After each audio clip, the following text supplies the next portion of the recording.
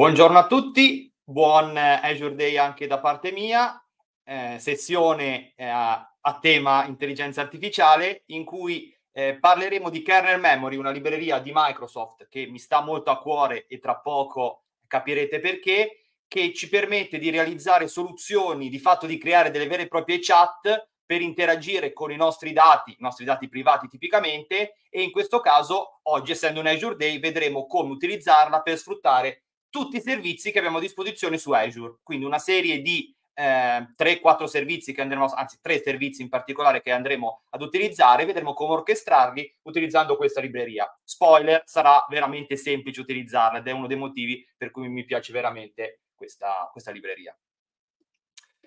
Ringraziamo naturalmente gli sponsor, grazie ai quali eh, questa giornata come queste, giornate come queste sono possibili, quindi grazie di cuore a tutti voi ed entriamo subito nel vivo. Parliamo di eh, Retrieval Augmented Generation, ovvero il, la possibilità di eh, andare nel momento in cui andiamo a fare una domanda un nostro, al nostro chat GPT di turno, diciamo così, eh, la possibilità di eh, ottenere una risposta che non è derivata soltanto da quello che è il modello che stiamo sfruttando, ma una risposta che viene, diciamo, eh, generata a partire da informazioni arricchite sulla base di una nostra knowledge base di qualunque tipo sia. Quindi di fatto questa immagine riassume un pochino il uh, principio di funzionamento. Io faccio una domanda al sistema, prima di creare il prompt che vado a inviare al OpenAI, Azure OpenAI, come vedremo nel nostro caso, recupero delle informazioni che vengono utilizzate per creare veramente il prompt stesso della serie. Tu, eh, io ti do una serie di informazioni, questa è la domanda cui, di cui voglio la risposta, cerca di generarmi effettivamente un contenuto che possa essere significativo per me. Questo è veramente ad alto livello, non scenderemo troppo nei dettagli perché ci tengo a farvi vedere il funzionamento e come diciamo una libreria come kernel memory permette di orchestrare tutto questo per darci un valore aggiunto molto importante. Però qualche nozione diciamo di base del funzionamento naturalmente è fondamentale. Tutto questo eh, nasce, eh, parte con il concetto dell'embedding, che è la base di questo sistema, della Retrieval Augmented Generation. L'embedding, questa non è, quella che vi do adesso non è la definizione, diciamo, eh, da, da dizionario, la definizione ufficiale, però è il modo in cui a me piace di solito descriverlo, è una sorta di rappresentazione numerica del contenuto e del significato semantico di una frase, un, un, testo, anche una singola parola. Quindi a fronte di un testo io ottengo una serie di numeri che in qualche modo lo descrivono, ecco, diciamo così. Qui è una rappresentazione, giusto per dare un esempio un pochino più uh, preciso di che cosa si tratta. Se io voglio calcolare gli embedding di uomo, donna, re, regina, a fronte di questa parola abbiamo parlato di un contenuto semantico, il mio modello mi dice che eh, l'uomo ha una eh, vicinanza, perché poi di fatto in questo caso si parla di vicinanza di concetti, di fatto, passatemi questa espressione, con il concetto di essere vivente, una vicinanza del meno 0,2 al concetto di felino, 0,8 di umano, eh, 0,9 di genere. La, eh, diciamo, l'embedding sono numeri da meno 1 a 1, ok? E quindi in questo caso io ho una rappresentazione eh, numerica dei concetti espressi dalla parola o dal testo, come dicevo, che io vado a, a, sottoporre al mio sistema di embedding, che non è altro che un modello, così come abbiamo i modelli GPT-3.5, il 4, il 4 Turbo, il GPT-4o, ci sono dei modelli ad hoc che fanno proprio l'embedding, nascono per questo. Sicuramente se eh, uh, avete utilizzato almeno una volta OpenAI, anche solo per sentito dire, conoscete l'ADA, il modello ADA, l'ADA 002, che è diciamo è, sta- è stato un, il primo che di fatto ha, eh, è stato conosciuto eh, veramente in questo, in questo, settore. Adesso, in questo, diciamo, in questo scenario, adesso ci sono i modelli 3, small e large, che sono modelli più avanzati, però il concetto naturalmente è lo stesso. Quindi, almeno a meno di appunto, di and- senza andare troppo nel dettaglio, scusate, immaginiamo che questo funzionamento sia basato appunto su un approccio di questo tipo, un modello che trasforma il testo in numeri. Una volta che noi abbiamo questi numeri, il computer sa lavorare meglio con i numeri ovviamente che con il testo, noi possiamo farci tante cose interessanti. ad esempio possiamo calcolare quella che è la distanza cosenica, la distanza del coseno, che in pratica mi dice quanto una frase, una parola, un concetto, come al solito, eh, è vicino ad un'altra. Quindi, ad esempio, in, questo, eh, in questa matrice vediamo che i biscotti sono vicini 0 al concetto di fotone. Naturalmente ognuno è, ehm, è il, ehm, diciamo così, naturalmente il, il, concetto si può vedere come eh, distanza del coseno piuttosto che similarità del coseno, dipende da che parte eh, la guardiamo. In questo caso questa in realtà sarebbe la distanza e quindi la similarità è 0,1. L'ho detto, prima l'ho detto al contrario, perché eh, la formula ovviamente è semplice, la, la, distanza del coseno è 1 meno la similarità. Quindi di fatto a noi quella che interessa è la distanza. Se facciamo 1 meno 0,9 otteniamo 0,1 che è la, la, vicinanza, quindi la distanza di fatto tra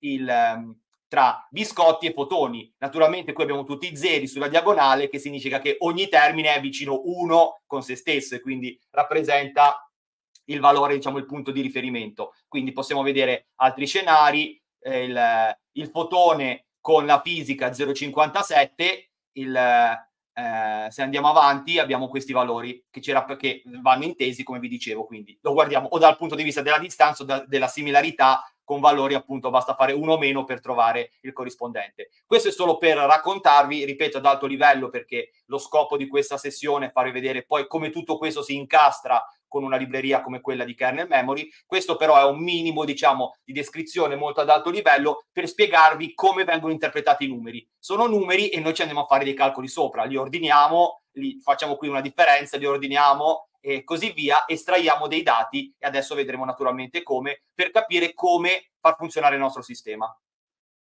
Torniamo quindi alla slide iniziale per spiegare questa parte qui, che adesso poi naturalmente ne vedremo in pratica. Questo retrieval query e questo retrieval text che cos'è? È semplicemente, lo metto tra virgolette naturalmente il semplicemente, il fatto di andare a prendere un, eh, un, un, testo, calcolarne, anzi una domanda di fatto, perché noi partiamo da questa, calcolare gli embedding, dopodiché confrontare quegli embedding con, tut, con una serie di embedding che noi abbiamo precalcolato a partire dal nostro testo.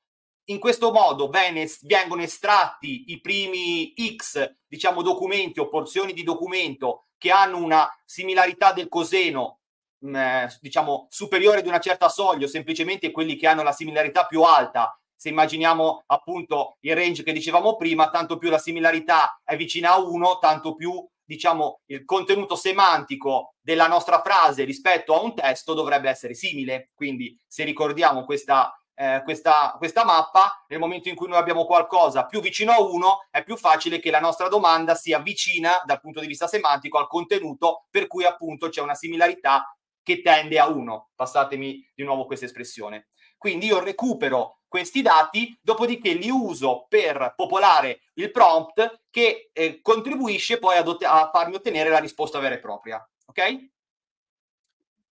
E adesso arriviamo a kernel memory, perché quello che vi ho raccontato, anche senza scendere troppo nei dettagli, eh, sicuramente vi sembrerà qualcosa di non banale, perché devo prendere, io vi ho detto, devo prendere il testo, devo trasformare gli embedding, quindi devo avere la rappresentazione numerica, poi ho detto un punto fondamentale, devo confrontarlo con il, con embedding che mi sono già calcolato a fronte di un mio testo, quindi io devo creare quella che all'inizio ho chiamato come knowledge base, quindi devo caricare i miei documenti. Nella slide del titolo abbiamo parlato di documenti privati, quindi devo caricare le mie informazioni da qualche parte in modo che io poi possa calcolare gli embedding della mia domanda e confrontarli con questi.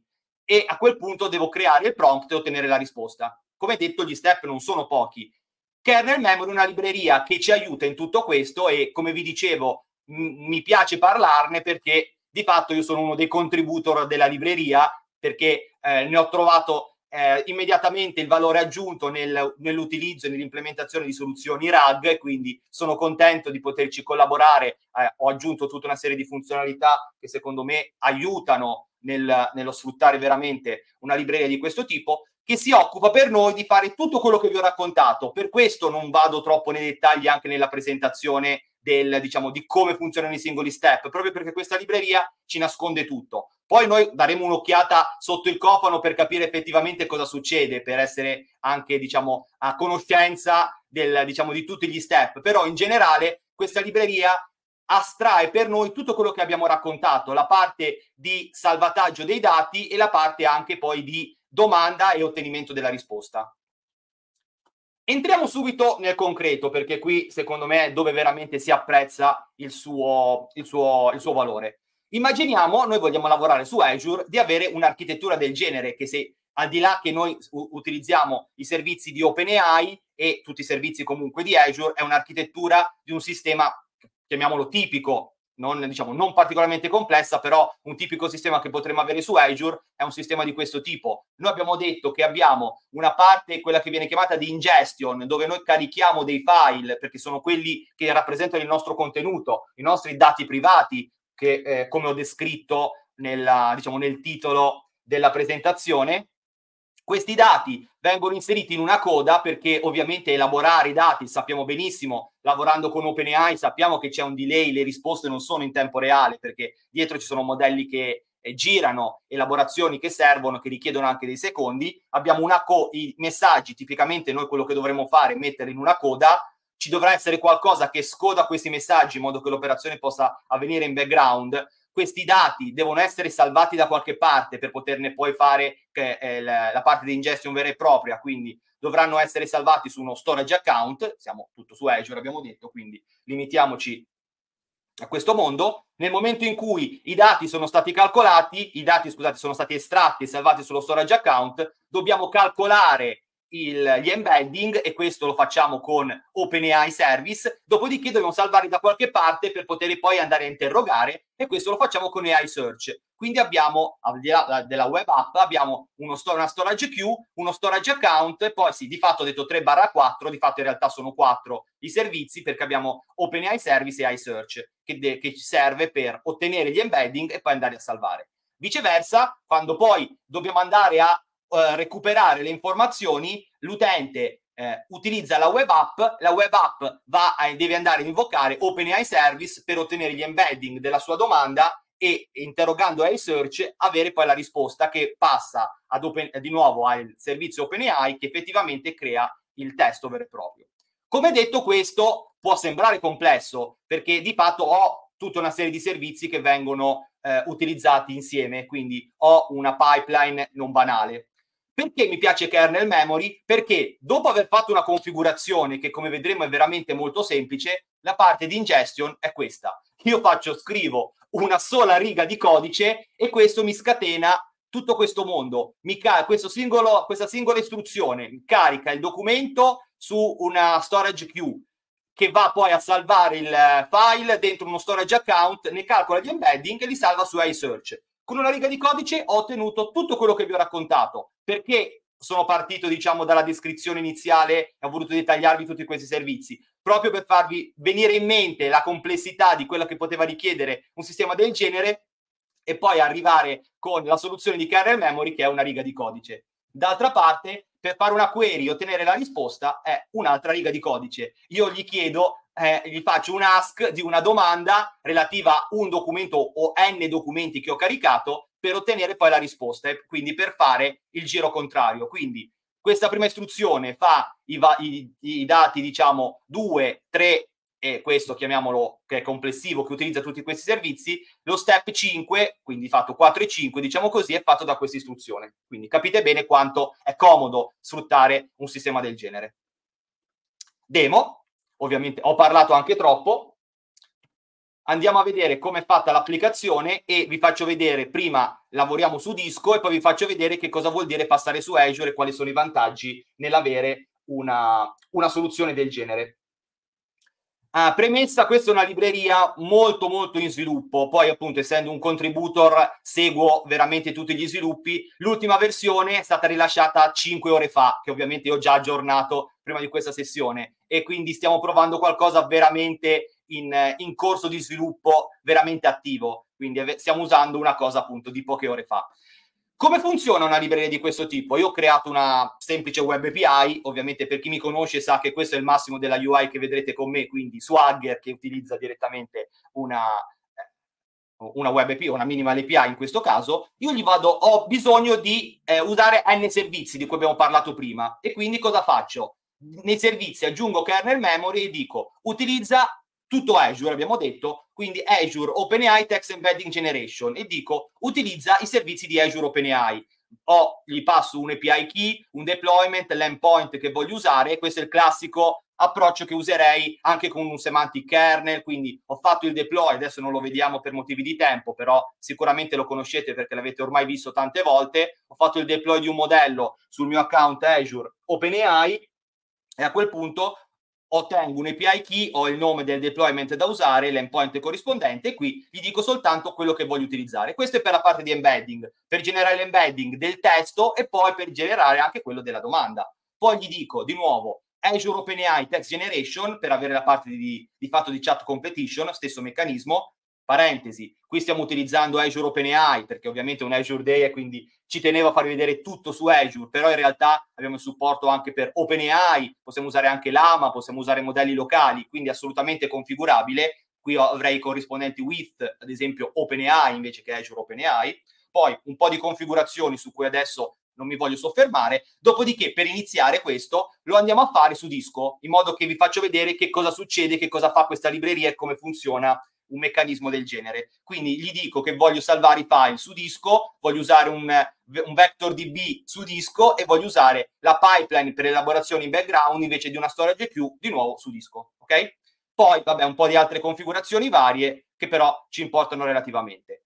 Andiamo ad eseguire l'applicazione e vediamo di cosa si tratta. Vediamo qual è il risultato.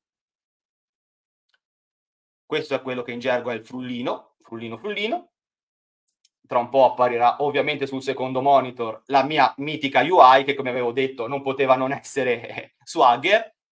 Tengo questa di qua e qui è quello che succede in background. Quindi io ho questo endpoint, faccio un try it out, scelgo un file che ovviamente non può essere che Taggia, che è poi lo guardiamo anche, non è altro che la pagina Wikipedia di Taggia, questi non sono documenti privati ovviamente, ma era soltanto per farvi un esempio, innanzitutto per parlare di Taggia, ci mancherebbe altro, ma poi per anche avere qualcosa per poter fare delle verifiche sul, sul funzionamento. Questo codice, giusto per farvi vedere, ho un pochino strutturato meglio, diciamo, l'applicazione, ma alla fine fa questo, fa, come vi avevo detto, import document async, quindi esattamente quello che vi raccontavo, che vi raccontavo prima nelle slide Perciò adesso rimettiamo questa applicazione qui, io premo adesso il tasto execute e qui dentro vediamo che parte un'elaborazione, viene estratto il testo, vengono calcolate delle partizioni, vengono poi fatte tutta una serie di operazioni utilizzando una coda che lavora su file system.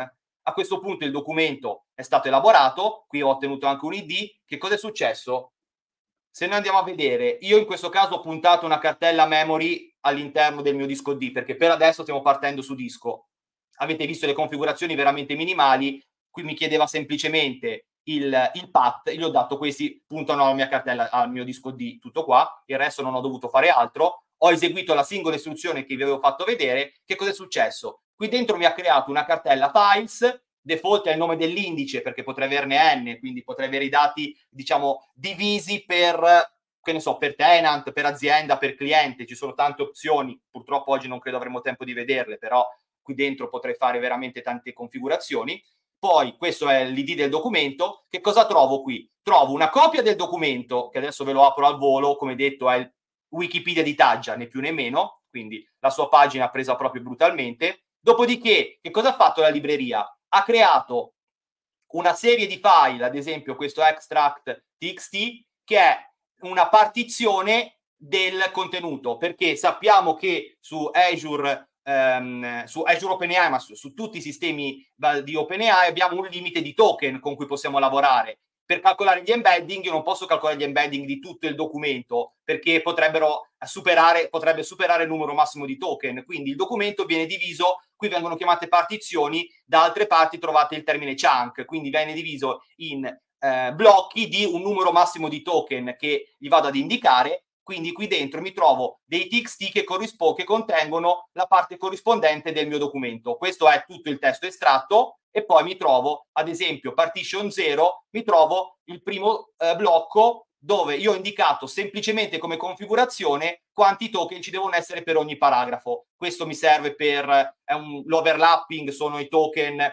diciamo, che si sovrappongono tra un blocco e l'altro, sono cose che probabilmente cambieranno anche nelle prossime versioni di kernel memory, quindi non mi ci soffermo troppo. La parte importante è questa, io gli dico che voglio ogni paragrafo al più mille token, quindi ogni mille token viene creata una partizione nuova in pratica. Quindi qui mi trovo i dati corrispondenti, qui dentro quindi trovo 0, 1 fino a 11, quindi ha creato 12 partizioni, poi qui dentro mi trovo questo file che se vado a vedere che cosa contiene è la rappresentazione numerica del, del in questo caso sono sul partizione 0 della partizione 0 quindi il vettore in questo caso sto usando un modello che ha 3072 elementi una rappresentazione di numerica che contiene che rappresenta, scusate, il contenuto semantico della parte di codice della parte, scusate, di testo corrispondente alla partizione su cui sto lavorando. Quindi ho tutti questi numeri che poi vengono riversati e di nuovo in automatico, non ho dovuto fare niente per gestirlo, tramite la coda che orchestra tutto questo, vengono riversati vector default in file di questo tipo. Eh, questo. E quindi qui ho, la, ho una rappresentazione in JSON dove ho il, la parte di testo corrispondente e poi di nuovo la lista dei vettori, quindi i numeri che mi interessavano. Naturalmente questo lo vediamo per farvi capire di cosa si tratta e dove finiscono le cose come e come vengono utilizzate. Nella realtà non useremo mai il file system per fare questi test, cioè scusate, per fare questi la- lavori in produzione, perché eh, ovviamente ci sono dei limiti, quindi useremo poi i servizi di Azure, ma questo è per farvi capire come funziona effettivamente kernel memory. Nel momento in cui io ho una configurazione di questo tipo, se adesso vado qua faccio un ask, teniamo sempre aperto anche questo, e gli chiedo tra it out qual è la popolazione di Taggia, premo un execute, questo va ad invocare kernel memory, a questo punto esegue un rag prompt con questa dimensione, abbiamo parlato di retrieval augmented generation e quindi dietro le quinte cosa è successo? È stata fatta la ricerca tramite similarità del coseno sono stati estratti i primi X eh, chunk o partizioni nel termine nella nomenclatura di kernel memory più significativi e sono stati utilizzati per creare un prompt della serie tu conosci queste informazioni, rispondimi. E quindi quello che ho ottenuto è stata una cosa del genere. Qual è la popolazione di Taggia? E la risposta è questa è di 13.696 abitanti, secondo i dati bla bla bla aggiornati. Quindi mi ha dato questa risposta. Ovviamente non è un documento privato, quindi eh, nella, nel titolo della slide abbiamo parlato di documenti privati, ma per fare un test e per farvi anche poter fare una verifica che le cose funzionino, siamo andati eh, a questo livello. E qui sotto vediamo anche le partizioni che hanno contribuito a darmi la risposta. Ad esempio, vediamo che nelle varie partizioni, quindi nei blocchi di al più mille, mille token che sono stati identificati, abbiamo ad esempio questo che mi dice che ha una relevance di 0,71. Qui relevance è il termine generico, eh, di fatto questa è la, è la, similarità del coseno, come abbiamo detto, più ci avviciniamo a 1, più il chunk è considerato corrispondente, se andiamo a vedere effettivamente abitanti c'è questo numero e questa è una relevance 0,71. Poi ne trovo anche altre naturalmente con una relevance più bassa che comunque parlano di numeri, di... Eh, eh, di altre informazioni varie, questo fa, fa, parte ovviamente del gioco, diciamo così, sta a me decidere se prendere i primi n, prendere quelli che hanno una relevance maggiore di un certo valore, cosa che dipende dal modello che sto utilizzando e così via. Però questo avete visto di nuovo tutto automatico, perché io anche questa cosa la faccio con una ask, a parte che qui riformulo la domanda per tenere traccia della storia, questa è un'altra piccola cosa e non so se riusciremo a vederla, però poi vi lascerò il link al repository GitHub in cui questa cosa è descritta meglio, alla fine per ottenere la risposta faccio questo, quindi vai, tolgo il punto interrogativo finale per risparmiare un carattere e togliere gli spazi finali, però tendenzialmente io, esattamente come ho visto nella slide, faccio l'ask della, della mia domanda e quindi riesco a ottenere esattamente quello che mi serviva e ottengo questa risposta. Ok? Quindi qui ha tutto funzionato. Per adesso tutto bene. Ok?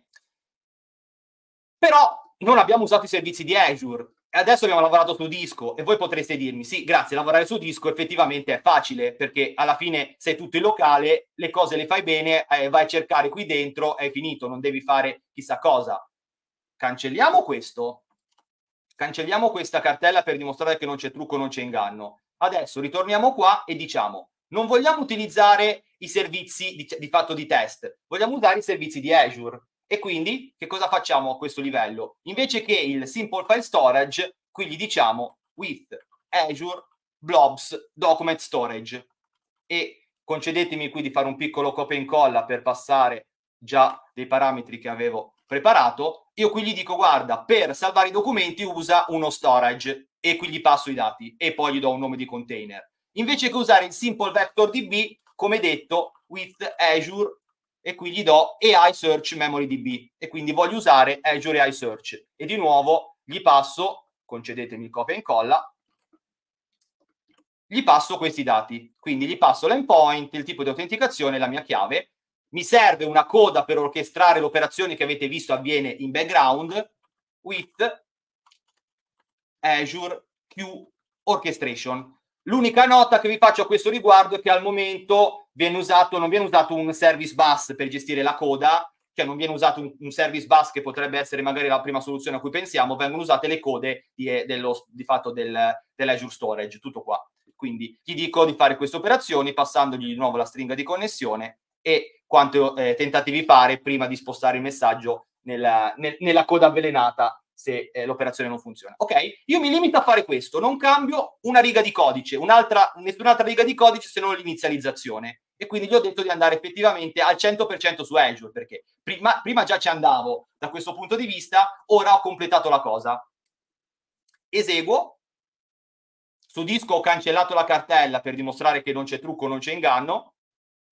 Ora ci apparirà nuovamente un'interfaccia di eh, Swagger, ovviamente qui, ma adesso se ade- andiamo a vedere, qui notiamo che già facciamo un refresh, qui sono apparse sulla coda, questa è il, la coda, il, l'account a cui puntava il mio, il mio, diciamo, la mia configurazione, sono apparse un po' di code che sono quelle che corrispondevano corrispondenti a quelle che noi avevamo su disco in quella cartella chiusa che abbiamo visto velocemente. Ora sto usando questo. Poi qui è dove andremo a vedere che cosa succederà e nei blob container stessa cosa, vedremo, vedremo qual è il funzionamento. Quindi ritorniamo qua, teniamo aperto questo come prima. Adesso vediamo che infatti qui si parla di un Azure Q Pipeline, mentre prima andavamo su disco. Andiamo qui, andiamo a ricaricare lo stesso documento. Naturalmente possiamo caricare, anche adesso magari facciamo la prova anche a caricarne due. Prima ne abbiamo verificato uno solo, però il funzionamento sarebbe naturalmente lo stesso. Se faccio un execute, Ora, i giri sono gli stessi di prima, viene estratto il testo, vengono eh, calcolate le partizioni, vengono inviati messaggi, vengono fatte eh, su una certa coda, vengono fatte certe operazioni, qui salva i record, fa tutto quello che deve, credo che abbia finito, saving pipeline status, ok? Quindi adesso che cosa ci ritroviamo qui dentro? Refre- facciamo un refresh. Quello che prima avevamo su disco a fronte di, semplice, di, un semplice cambiamento di configurazione, lo ritroviamo dentro uno storage di Azure, memory default, come avevamo su disco, abbiamo l'id del documento e dentro, se guardate, questo è esattamente quello che avevamo prima su disco, quindi il PDF del documento, vari, eh, le varie partizioni che sono state estratte. Esattamente come ci aspettavamo. Se adesso facciamo un refresh qui, ci troviamo default, che è il nome dell'indice che abbiamo visto di nuovo su disco, proviamo ad aprirlo facciamo una ricerca, adesso ancora qui dice 0 perché qui ci mette un pochino per aggiornarsi, però anche una ricerca senza parametri, cosa ci mostra? Che dentro l'indice noi abbiamo eh, una se- un payload in JSON e poi gli embedding, che sono quelli che prima abbiamo visto salvati in quel file nella cartella underscore vector su disco, ora sono finiti dentro Azure AI Search, che sappiamo ormai da un po' di tempo ha il supporto nativo per la ricerca vettoriale e quindi sfruttiamo quello che diciamo è il, una caratteristica nativa dell'engine a questo punto. Proviamo a fare un refresh, eccolo qua. Nel frattempo si è aggiornato anche questo e qui abbiamo i 12 documenti che se vi ricordate corrisponde alle 12 partizioni. Quindi siamo completamente andati su, di, su AI Search. Ora andiamo qua, esattamente come prima, facciamo un try it out e gli chiediamo di nuovo quale è la popolazione di Taggia execute, esattamente come prima viene fatto il rag prompt e otteniamo di nuovo la risposta con i dati che di fatto sono gli stessi di prima che abbiamo, però in questo caso siamo andati su Azure. Quindi lo ripeto, ma perché secondo me è il punto di forza di una libreria del genere, cambiando solo una configurazione, io ho cambiato completamente eh, di fatto dove andare a farla, funzion- a farla lavorare. E questa secondo me, eh, questo secondo me è un aspetto interessantissimo, anche perché adesso noi stiamo vedendo Azure perché come detto questo è l'Azure Day, però io posso decidere di andare, eh, di salvare su un database vettoriale come Quadrant, posso salvarli su un Postgres, addirittura anche su SQL Server che non ha un supporto nativo, però eh, ad oggi non ha un supporto nativo per la parte vettoriale, però posso utilizzarlo comunque, posso andare a utilizzare altre strutture, posso usare Redis, posso sfruttare tante possibilità che ho a disposizione grazie a questa libreria, semplicemente cambiando quella configurazione. Facciamo giusto un test caricando un altro documento per dimostrare che ovviamente continua a funzionare come ci aspettiamo anche se le cose si complicano un po', PDF di Sanremo, execute, questo è un po' più grosso quindi impiegherà un pochino più di tempo, divide le varie partizioni, come detto 1000 è il numero massimo di token, a seconda diciamo cerca la, il chunker che è eh, contenuto nella libreria cerca di dividere il testo mh, mm, fermandosi su frasi di senso compiuto, comunque segni di interpunzione, quindi tipicamente io avrò token, eh, avrò partizioni di un numero con un numero minore di, di token rispetto a quello che ho indicato. Credo che abbia finito, quindi se adesso ne andiamo a vedere qui dentro, facciamo, torniamo indietro. Qui ci troviamo un altro documento quindi scusate, questo è lo stesso di prima, quindi qui dentro troviamo la parte di Sanremo e se andiamo a vedere qui, se è aggiornato, 22 stanno arrivando pian piano gli altri documenti, dovrebbero essere mh, 30 mi sembra quelli di Sanremo, pian piano aumenteranno anche questi, pian piano che si aggiorna questa, eh, questa interfaccia, però i dati dentro dovrebbero già essere disponibili, per cui se io adesso qui invece provassi a chiedere la popolazione di Sanremo, come prima stesso giro, in questo caso mi dice la popolazione di Sanremo è di 53.114 abitanti, quindi funziona effettivamente come, come, vi raccontavo e quindi sono in grado di, eh, eh, come detto, di avere più documenti che posso, posso andare a gestire semplicemente variando la mia, la mia configurazione, cioè più documenti che posso gestire su Azure semplicemente variando la mia configurazione. E questo secondo me, come vi dicevo, è il punto di forza di una libreria di questo tipo eh, oggi ovviamente non, avevo, eh, non abbiamo il tempo di farvi vedere tutto, in realtà c'è molto di più.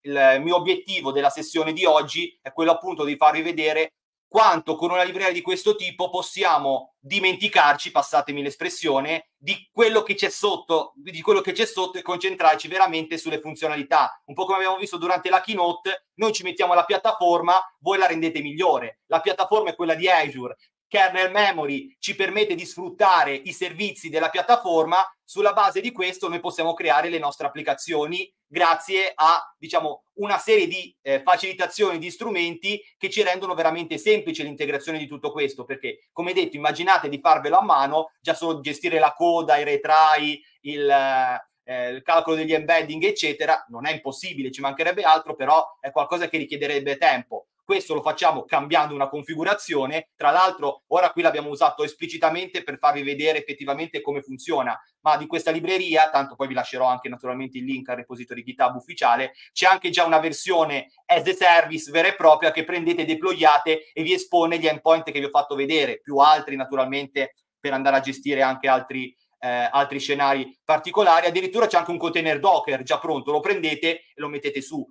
Io ve l'ho fatto vedere così anche perché ci tenevo a mostrarvi che sono veramente due righe di codice, però è già tutto pronto, veramente chiave in mano. Questo è un vantaggio interessante, è quasi un servizio che noi usiamo quasi come fosse un chat GPT specializzato per questa, questa funzionalità, per intenderci. Questo a me appunto piace, piace molto come, come, funzionamento. E come detto si può personalizzare in tanti modi, perché questo ve lo accenno soltanto, poi non abbiamo più tempo, eh, vi, vi, dico soltanto che io in questo caso quando vado a caricare i dati i dati mi vengo, vengono posti su una coda e poi salvati su uno storage di Azure per poter calcolare gli embedding naturalmente e quindi me li ritrovo qui dentro. Però magari io questi dati già ce li ho, voglio magari che una volta che, che ho calcolato, che ce l'ho da qualche altra parte le informazioni, non voglio ricaricare dentro questa cartella memory tutti i file che mi vanno a occupare spazio. Voglio andare a magari a personalizzare questa cosa e quindi questi file non voglio che vengano salvati, anzi temporaneamente lo dovranno essere, l'abbiamo detto perché altrimenti non, può,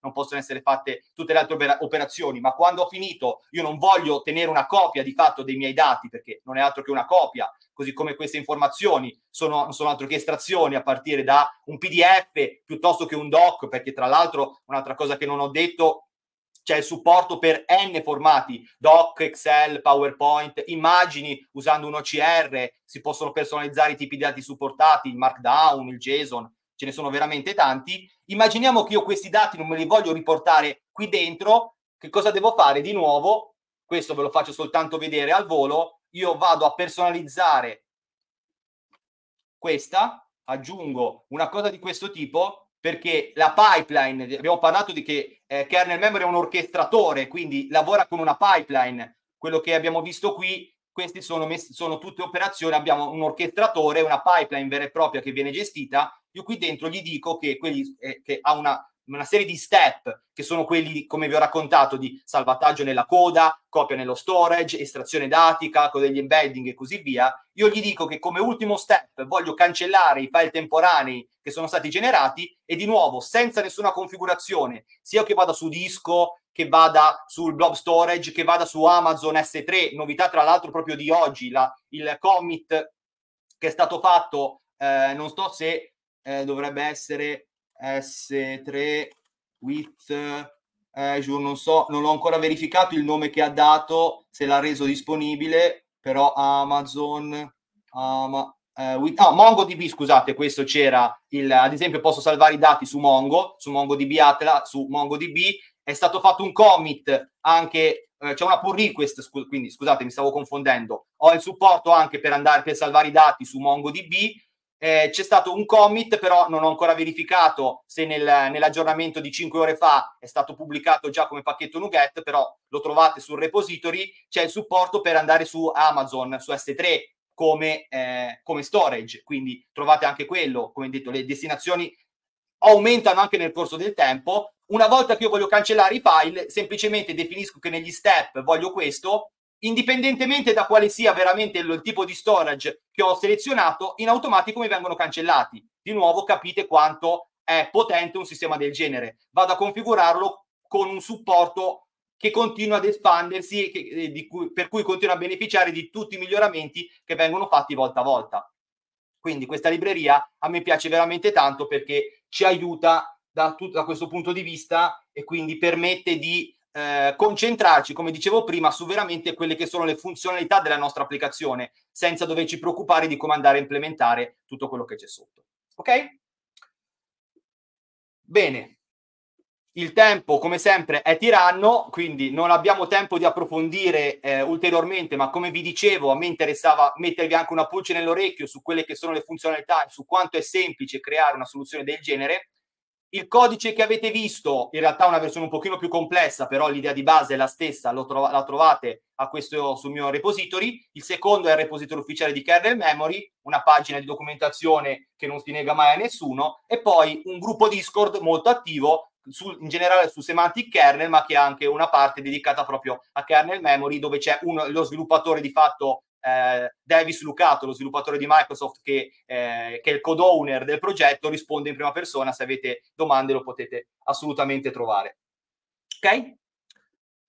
Detto questo, io vi ringrazio veramente per l'attenzione. Non so se abbiamo tempo per domande, ma in ogni caso trovate i miei riferimenti. Se avete bisogno anche in maniera offline, i, trovate tutti i miei contatti, scrivetemi io se posso, vi rispondo un, un, favore che vi chiedo, votate assolutamente la sessione perché i vostri feedback sono quelli, sono quello che ci serve per capire il, se quello che stiamo facendo va bene, e stiamo andando nella direzione giusta oppure no. Quindi dateci un feedback appena potete. Se potete, vi ringrazio.